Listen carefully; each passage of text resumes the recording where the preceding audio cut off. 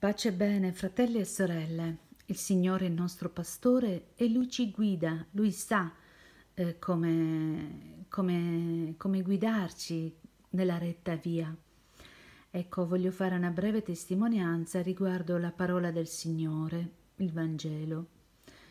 Ho iniziato a leggerlo l'anno scorso perché sentivo questo forte bisogno. Il mio direttore spirituale mi disse mm, di leggere tre capitoli al giorno e meditarli, invocando prima lo Spirito Santo.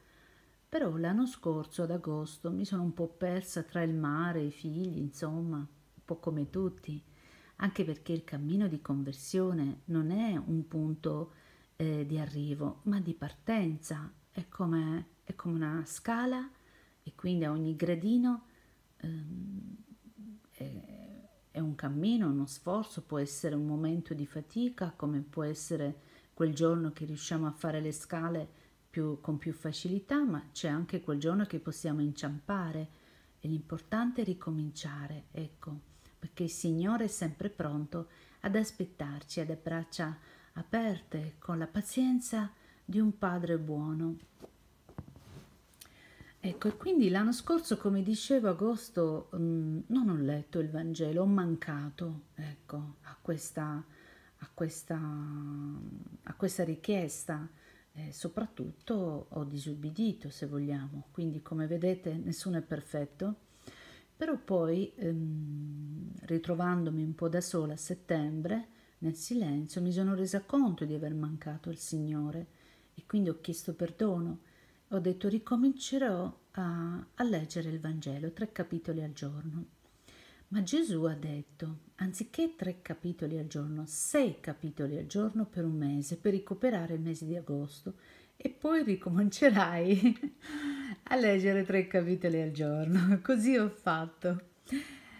E poi, siccome sono arrivata agli Atti degli Apostoli, e quindi sto leggendo San Paolo, che io è uno degli apostoli, non so, quello che lui dice, quello che lui scrive, veramente lo sento nel mio cuore, nella mia pelle.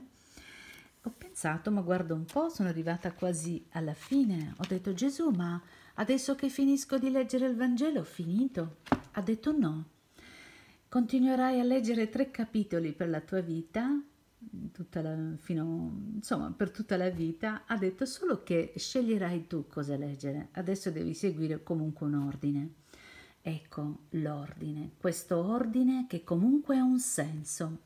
La Bibbia va tutta letta e va tutta eh, meditata ma con discernimento.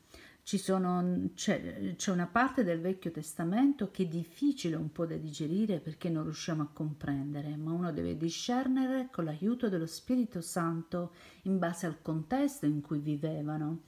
E quindi è io quello che posso dire fino adesso, la mia testimonianza, che è meraviglioso come Dio ha guidato il suo popolo, che siamo noi, i suoi figli, e questo è meraviglioso.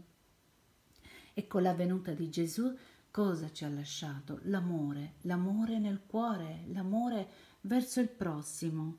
Guardate un po', che cos'è l'amore? L'amore per il prossimo è la carità.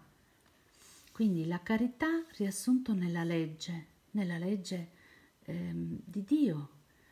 Non, non siate debitori di nulla a nessuno, se non nell'amore vicendevole per chi chiama l'altro, adempito la legge, adempiuto la legge. Infatti, non commetterai adulterio, non ucciderai, non ruberai, non desidererai e qualsiasi altro comandamento si ricapitola in questa parola Amerai il tuo prossimo come te stesso.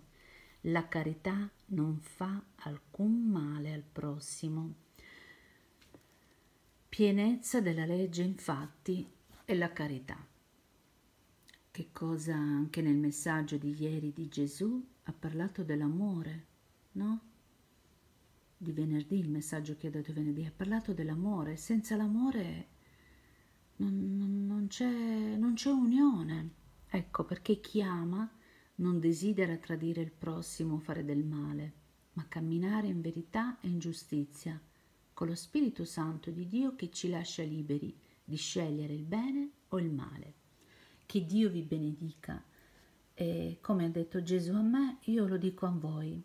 Quando avete qualche dubbio, qualche incertezza, volete una risposta, una consolazione, ecco, nutritevi della parola di Dio e del corpo eucaristico.